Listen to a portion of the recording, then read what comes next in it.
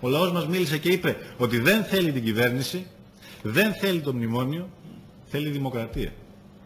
Έχουμε χρέος να κάνουμε τα πάντα ώστε η εκφρασμένη βούληση του λαού να τελεσφορήσει. Έχουμε όλοι μας ευθύνη ιστορική, όχι να ενδιαφερθούμε για την επιβίωσή μας, για το μαγαζάκι μας. Το no-go είναι όταν η ατζέντα της κάνει την ατζέντα του μαγαζιού. Εκεί δεν είναι, υπάρχει δηλαδή Ναι. περαιτέρω Ναι. μεγάλη...